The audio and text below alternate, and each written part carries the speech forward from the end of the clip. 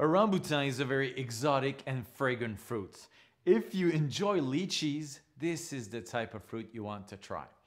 When you buy a rambutan, you have to choose a fruit with a red shell and green hair. This is actually from Malaysia. And in Malaysian, rambut means hair. So to present it and serve it the nicest way possible, use a sharp knife and just cut it all around it and serve it as if it was a, a boiled egg.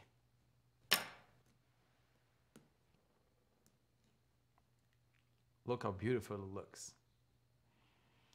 So then, if you want to use it for a fruit salad, just remove it. And there's a pit in the middle. Really looks like a, a lychee, actually. And you can remove the pit. And you will end up with this beautiful white flesh. Mm.